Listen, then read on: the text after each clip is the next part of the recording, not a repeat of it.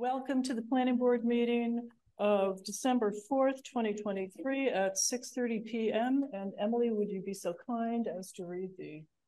I, I will be so kind. Um, do we need to state that this is a joint planning board and select board meeting, or will you open it separate? Oh, We'll Okay. open separate. All right, this meeting will be held in a hybrid fashion with the opportunity for both in-person attendance and remote participation. Please note that while an option for remote attendance and or participation is being provided as a courtesy to the public, the meeting hearing will not be suspended or terminated if technological problems interrupt the virtual broadcast unless otherwise required by law. Members of the, uh, the public with particular interest in any specific item on this agenda should make plans for in-person versus virtual attendance accordingly. The meeting will be held in the main meeting room of Deerfield Municipal Offices. In accordance with Mass General Law, Chapter thirty A, anyone intending to record the meeting must identify themselves to the clerk and provide their name and address for the record. I don't see anyone. And I will open up the select board meeting at um six thirty-three. Okay, okay, great. All right, so I'm gonna open the planning board meeting and take attendance. Uh, Kathy Wetruba, Kathy which over here? Andrea Leibson, Andrea Leibson here. Emily, Emily Yep. Gaylord here.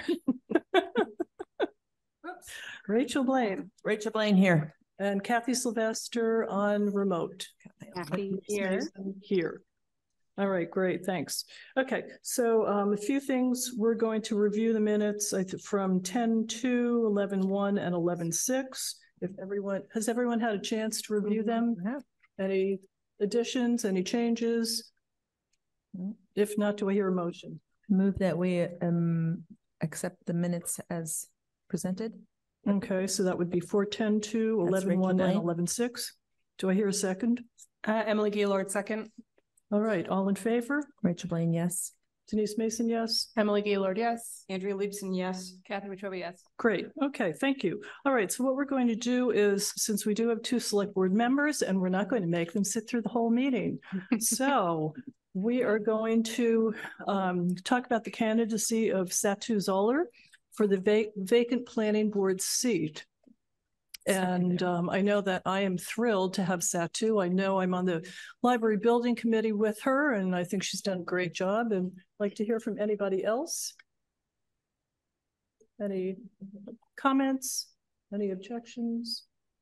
I'm No, just happy that someone has volunteered and that it is a high quality person like Satu. Yes. And yes, that she has a planning background, which is always Yes. helpful. I Uh, think that public policy, Public policy, from but she, UMass. she, Mm. yeah.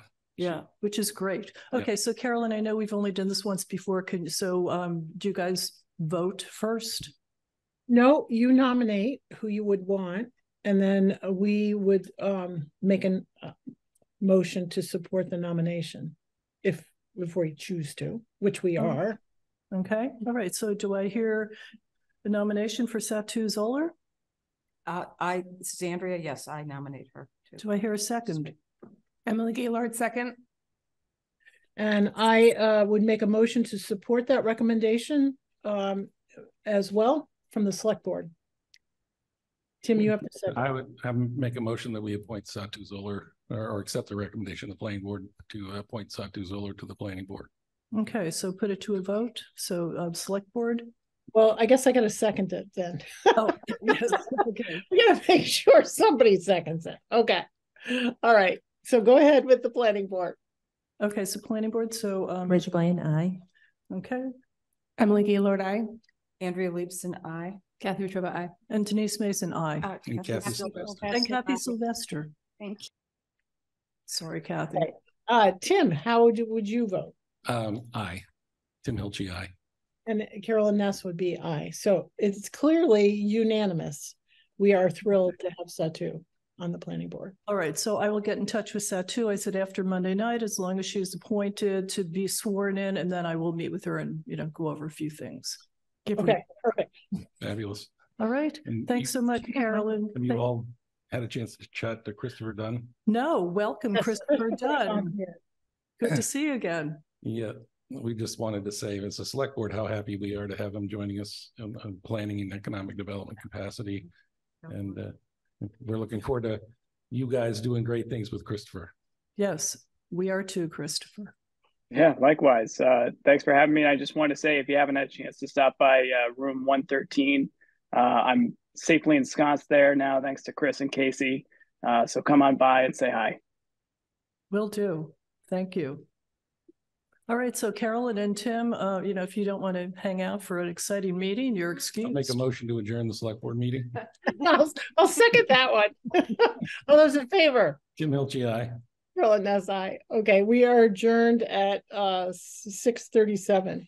All right, that Right, was, Thank you so much. great. Thank you. thank you so much, everybody. Thank you. See you, Tim. All right, great. Okay. So next, next order of business would be our old business, and that's Cumberland Farms hearing continuation.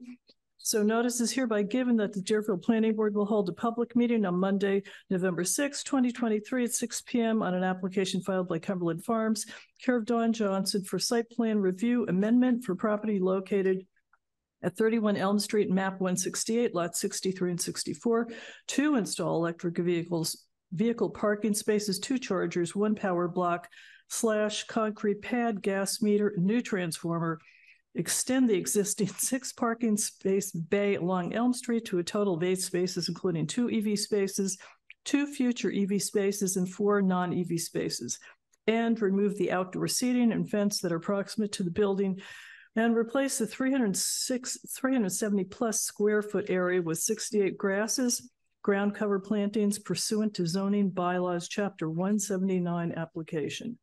That is a mouthful. Welcome, Dan, Dawn Johnson. Good to see you. I see Pete's on too. So that's great. Um, let's see. So, Dawn, um, would you like to speak? Okay, I think you're muted though. Oh, sorry. Okay, that's okay. Thank, thank you so much. Um, I just wanted to kind of recap. So when we were last, um, and then kind of, kind of give you an update of where we are today. Um, last time we met, uh, most of the focus was a lot of the questions. Um, everyone seemed okay with the EV. Um, a lot of the focus was on the drainage and updating that and getting it back to operating at um, post-construction conditions. On last Thursday, um, I was on, I was met with the Concom Commission.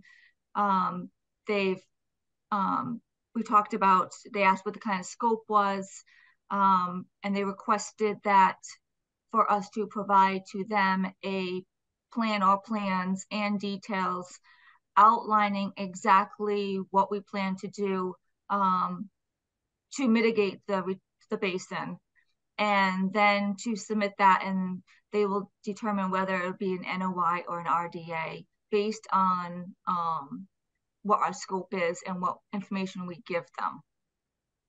So we are currently working, my engineer is currently working on that now.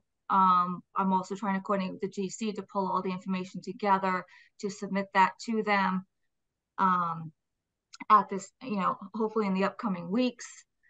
Um, and then I'm also here to ask if it's possible to take a vote to ask for conditional approval of our plan with the condition that we cannot proceed until we have constructed the basin, it's been inspected and signed off by um, by the town of Deerfield.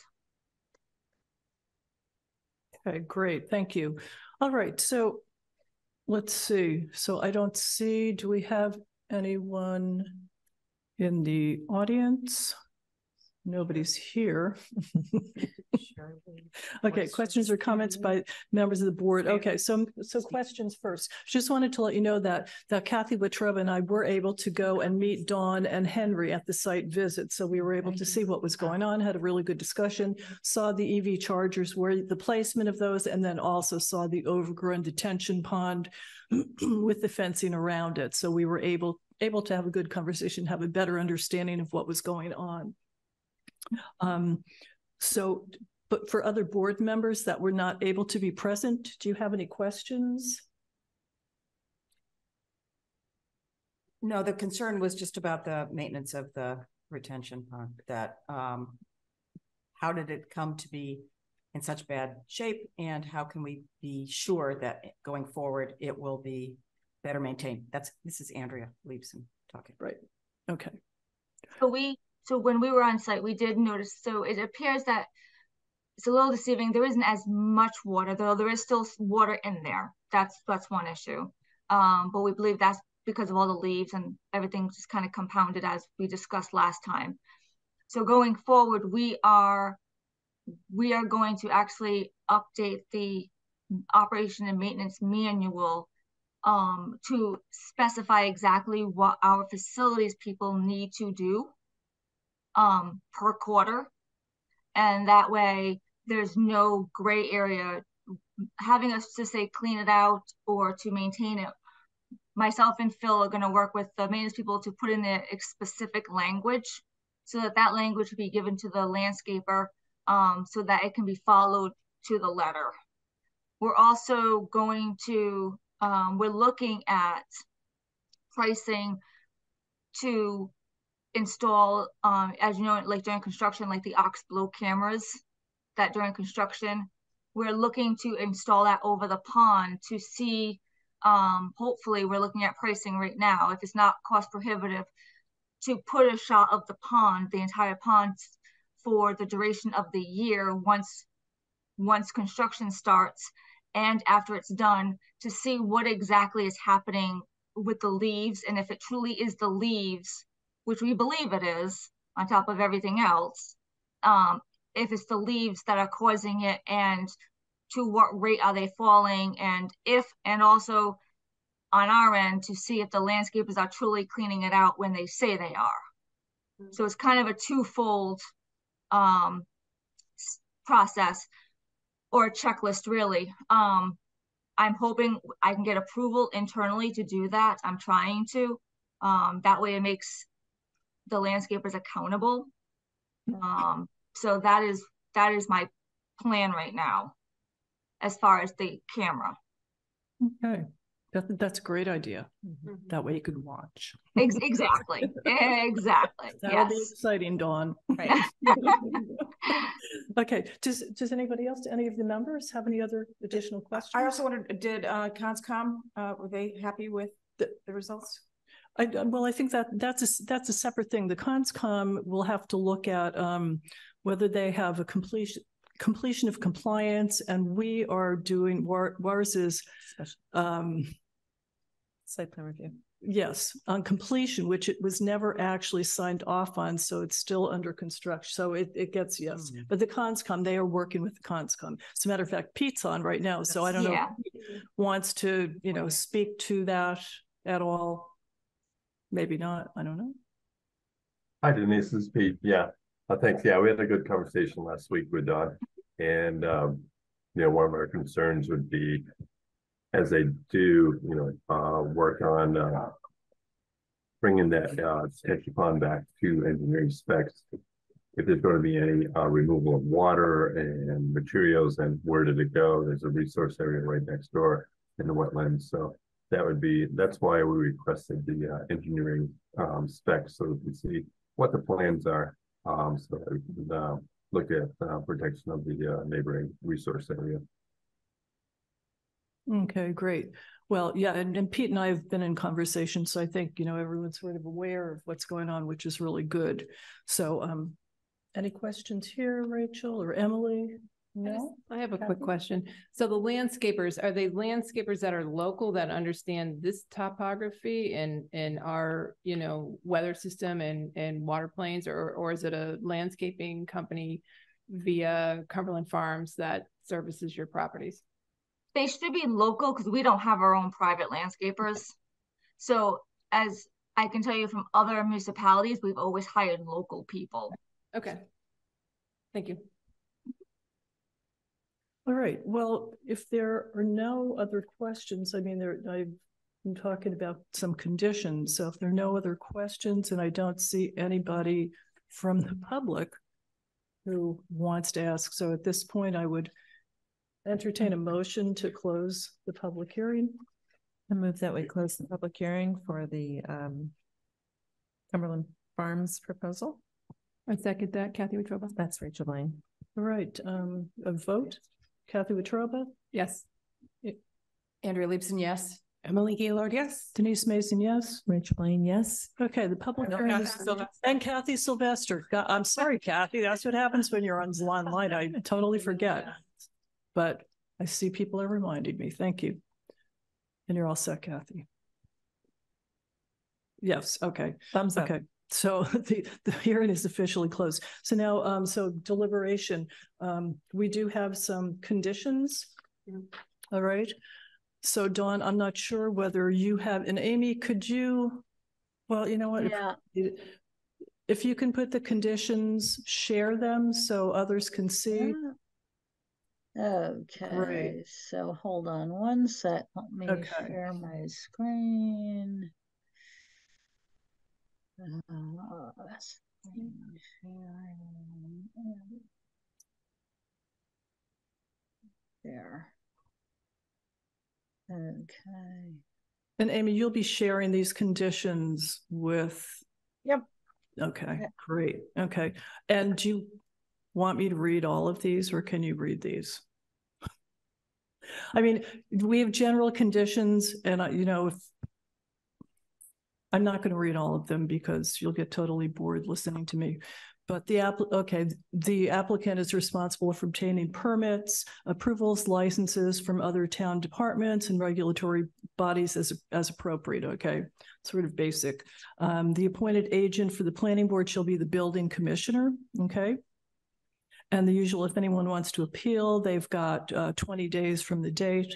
Following the 20-day date appeal period, uh, the special permit decision from the town clerk's office shall be recorded at the Frank- Franklin County Registry of Deeds. Um, The approval, the approval shall lapse if construction has not begun within one year, okay? Um, and you will receive all of these federal and local permits. Pre-construction conditions, the applicant, you need a certificate of completion from the Stormwater Authority, that's us, as, as the stormwater permit decision on March eighth, twenty eighteen, item two before commencing construction, because that was never closed. The applicant Okay. shall Excuse me? Okay. The Okay. applicant shall notify the building commissioner in writing at least forty-eight hours prior to beginning construction. And you should, you shall complete the project in accordance with the, the approved project plans, which are incorporated herein by reference. Um, let's see. And the planning board's appointed agent, building inspector, would be, he's authorized to approve minor modifications of the approved plans. If he determines that a proposed modification warrants additional review, he'll instruct the applicant to present the modification to the planning board. So hopefully if there are no modifications, you won't have to come back. Um, and then we'll have a new application or revision.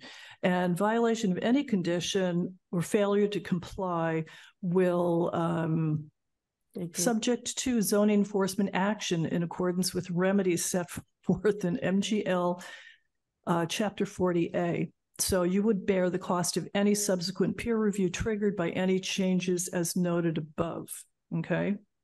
And of course, the hours of construction are limited Monday through Sunday, six AM to seven PM. Finally, project completion. Certificate of approval from the building commissioner shall not be applied for or issued until all work as approved and the approved plans is completed. The project shall not be considered complete until project engineer has submitted a written statement with his, her seal stamp affixed, certifying that all work has been done in accordance with the approved plans and conditions of the site plan review amendment, and that all systems are functioning as designed, and building inspector agrees that the project has been, been completed in accordance with the site plan amendment, including conditions. I know that was a mouthful. But Amy will furnish all of these to you, and I, I think we already have that understanding. I think you said that to begin with, so I think we're all in agreement. Mhm. All right, terrific. Okay, all right, so, um, let's see.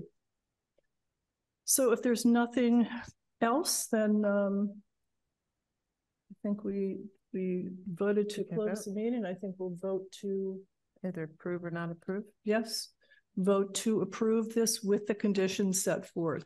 So this is Rachel Blaine. I um move that we approve the uh, special, sorry, site plan review, um, with the eleven general conditions put forward, um, for the Cumberland Farms project to change their parking arrangement from six to eight parking spaces. Do I hear a second? Emily Gaylord, second. All right. And vote, Kathy Wetruba, Kathy Wetruba, yes. Andrea Leibson, Andrea Leibson, yes. Emily Gaylord, Emily Gaylord, yes. Rachel Blaine, Rachel Blaine, yes. and Denise Mason, yes. And And Kathy Sylvester. Kathy Sylvester, yes. Thank you, Kathy. All right, so I, I think we're all set. And um, we hope we have continued good communication and, you know, with the um, conscom and with the planning board and wish you luck. And I really like the idea of the camera. I do too. I'm pushing hard. So Great hopefully, idea. hopefully Christmas will come early. Okay, terrific. Okay. All right, thanks thank you so much. Thank you. Okay, Bye-bye. bye. Bye. All right. So let's see, on to our next. Yeah, okay, on to our next, and that would be the A and R Whately Road, and that's a revision of the previously approved A and R. I did speak with Amy. Bob is not on tonight because he felt that it was, it's pretty straightforward. I think it was just adding a small piece to the back of the parcel. Is that correct? Is this Mr. Rodowitz? Yes, uh, good evening. Yes, um, we're expanding the, um, in lieu of, in lieu of what we decided to do back in September, where we, where we just did the frontage, frontage by, by whatever the, the amount is, by the, by the required back part. We decided to include in that parcel, everything go, that goes south to the abutters land in the back. We realized that, um, someday my brother next door, James Rikevitz, may want to go all the way back to the back lot sometime in the future, five years, ten years from now. And if we didn't, if we didn't include that, this additional parcel with, with, with, with eighty-nine Whately Road, we, um, we, we, we realized that that parcel would be landlocked. So we felt it was, um, worth doing now and not deal with easements or, or whatever complications would, would happen in the future. Okay. Sounds like a good decision. Yeah, uh, you know, I'm not a developer, so we, we, um, we made our mistakes and, and we're here to correct them in this, in this revised parcel.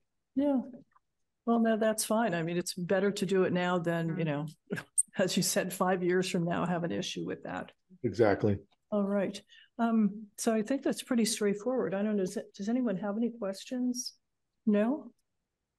All right, um, We need to move to ex- accept it, yeah, Endorse. endorse it. endorse it. Mm-hmm. So Emily Gaylord, move to endorse the A and R for eighty-nine Whately Road. Do I hear a second? Andrea Leibson, second. All right, I'll put it to a vote. Kathy Wetruba, Kathy Wetruba, yes. Andrea Leibson, Andrea Leibson, yes. Emily, Emily Gaylord, Emily Gaylord, yes. Rachel Blaine, Yes. Kathy Sylvester. Kathy Sylvester, yes. And Denise Mason, yes. I think we're all set. We're going to sign this, so it'll be here. And then Amy can do what you need to do, Amy. Amy does. Okay, I'll be, I'll be there tomorrow morning to pick it up. Thank you very much. all of you. great. Thank you. Good luck. Thank Okay. Well, that was pretty straightforward. Yeah. All right. So any other business not reasonably anticipated?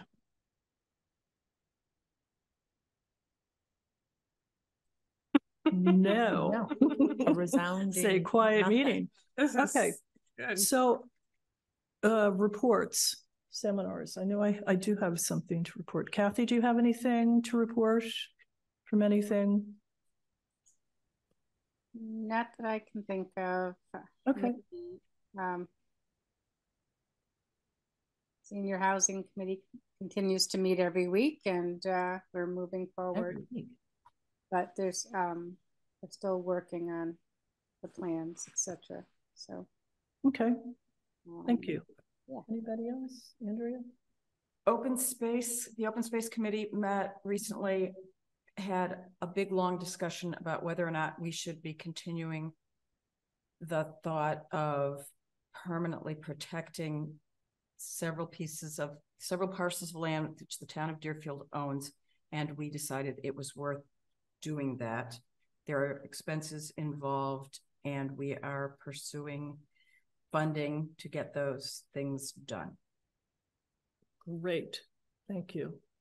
No, that's really important. Especially with the help of the Franklin Land Trust. Land Trust, That needs to be, Wonderful, that needs to be said. They're, they're very, very helpful. We did meet with gentleman from the Department of Conservation and Recreation, Mhm. DCR, and he was very interested in, um, in this for us. He's new to DCR in this area, but he is not new to the area in general. And he was very excited about the work, um, we are trying to do to protect Pocumtuck. That's great. Yep. That is good. Emily, anything? No? Okay, okay. I do have a few things. And um, both Rachel and I were able to, and I think everyone was invited. I, I think that you just weren't able to attend. Mm-hmm. Okay. So Rachel and I were able to attend the CPTC, which is Citizen Planner Training Collaborative, and we both went to the roles and responsibilities of planning boards and ZBAs and special permits and variances. I didn't find the special permits and variances as, you know, Well, it, it was a nuts and bolts. yeah, And I right. would definitely Yeah. recommend it. Um, It My was comment good. on the way out was, I did something like this early on and it was like ever so much wah, wah, wah. And um, so after a few, that was too early. Like it was too early in my tenure, so it Yeah. all sounded like figures and Right. very scary. And this time it was like, oh yeah, oh yeah, oh, hmm, yeah, yeah, yeah. Um, yeah, but so yeah, the guy was the, the, He our was first presenter excellent. really, really was uh, I think very. he was a former UMass professor, I forget, in the planning department or something, but he was really good. Unfortunately, we spent so much time introductions to begin with, which drive, drove, drove me insane. There were like fifty people in the room. But what was really interesting is that Ann Goby, who is our um, rural development person for the state, she was there and she, she really was interested in hearing what others had to say. And I guess um, just to summarize, it was about housing, housing, climate change, housing.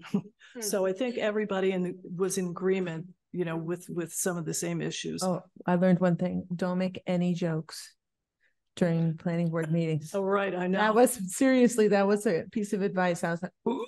It's like guilty, but anyway, Both so. Denise and I created. Well, that, that was a, I sug- that was, a- big trouble. that was a suggestion, okay? Okay, Can I just mention, uh, before we move on, that they also offer, um, the CPTC also offers, um, webinar classes and I can send you guys the, because, yeah, I think they're very helpful. Uh, the town, the planning board with Denise's, um, approval will uh, definitely. cover your, your, um, the admission fee. And uh, I plan on taking some of them because I find it helpful in Okay. helping you. So- No, that would be great, Amy. And the other thing that I think, Amy, you said that you would join the Citizens Planner group Yes. and get access to this, um, a handbook, which did sound also like. really Oh, really yes, yeah. um, You know, do this first, then this, you can't Mhm. do this, you know, um, Yeah. a lot of really good, Right. hard, hard tack tips. And they're supposed to send us, I think, all the PowerPoints too, but you know, we- I haven't received them as of today, but that was just Saturday. So when we do, we can also share that. All right, I just want to move on to a few other things. Um, just want to let, you know, anybody who actually watches this Zoom meeting, which I do occasionally watch other Zoom meetings, but I think what's really important is that understand what CCI does, and that's Connecting Community Initiative. And we meet on a regular basis, not the same time or, you know, day every, every, every month, but um, what it does is it gives an overview of everything that's happening in the town, a lot of the important issues that are happening. For instance, um, hopefully everyone knows that the library is going to have, have a temporary move to the old church, the 1821 building, and that'll happen in February. And that um, I think the library trustees are going to be asking the legislature for more money, which we need because of, you know, COVID and everything skyrocketing. So that's going on. CPC, um, just to let you know that typically we've gotten hundred percent match, but now we're only getting sixty percent match in other towns. But since we are a three percent community, we are getting sixty percent, whereas other towns, if they're not at three percent, you're only getting forty percent. So that's much better. yeah. So, but just to let everyone know that. And then um, there's a heat grant, and that is for the town campus. Once again, it's for geothermal and it's to drill a test well. I mean, it's pretty involved process. It's like 500 feet deep and it's got to be, you know, there's certain structure.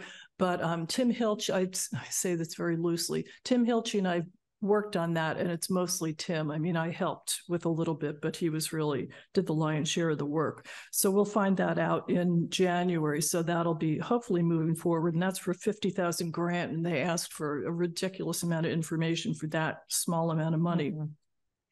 And then, um, you know, the plant, the, um, the select board was talking about how they are really working hard on on trying to get money from the legislature for all the, all the flooding issues that we had in all the roads. And I know people, I see this online, but people, people saying, well, we're not doing anything on River Road, and that's, that's really not true. I mean, we've got engineers out there looking at it and, you know, trying to figure out the best way to fix it. And we want the state to give us money to fix that. Mm-hmm. So, and just as a reminder, there is, there's a vote tomorrow, and that's to vote the $5 million to pass that, that we did at the special town meeting. So I encourage everyone to get out and vote for that. And for anyone who doesn't know, you can, you can see everything that we do on CCI. You can see all our minutes, and that's deerfieldcci.org, or just let me know. I'd be happy to talk to you. So that's my report. And if there is nothing else, I would just, I'm gonna give a little plug too for CCI because in, in that long session of introductions, I it was actually very informative and I think Anne Gobi was the one that wanted that. yes. Because um people really uh like the whole Shelburne Falls, oh, the whole Shelburne Falls uh planning board was there, all of them. They had five. And um so that was impressive. And um and as she said, as Denise said, the housing, housing, housing, but I I think that everybody kept also pitching back to communication and working together and the CCI is a great uh, vehicle in our town for connecting people. And so uh, there were a lot of times when you kind of wanted to grab tips and and actually Kathy, um, the woman who was spearheaded the ADU um, in Buckland, that um, because we kind of stole, not stole, but we got some motivation and some momentum from them. And uh, that I- felt a little bit like sharing out in that Mhm. setting was a good idea, Yeah. just because here's a bunch of uh, citizen planners. All the people there are volunteers and Yeah. devoted to their communities and putting in that time. And but learning on the job, as so many people are. I think it would have been nice to add, you know, add maybe another session where people could have actually gotten together and talked to each Yeah. other. I think that would have been really, really That's it. valuable. But another thing I did bring, we do have CCI postcards and I did hand one to Anne Gobi and talk to her and talk to her about a grant that we've applied for twice and did not get. And told her I was very unhappy about that. But she's supposed to send me some information. I think she's going to be somehow affiliated with that now, the Community One Stop. Right. So, She said. you know, hopefully, you know, that'll help in some way at some point. But anyway, to, um, if there's no other business, do I hear? I would say it's a good time to move to adjourn. How about anybody else? Oh, I'll second that. Yeah, that's Rachel and Emily. All in favor? I'm sorry, who seconded? Uh, Emily did. Thank you. Okay, Kathy Sylvester, Kathy Sylvester, yes. Rachel Blake, Rachel Blaine, yes. Emily Gaylord, Emily Gaylord, yes. Andrea Leibson, yes. Kathy Wetruba, yes. and Denise Mason, yes. So meeting is adjourned.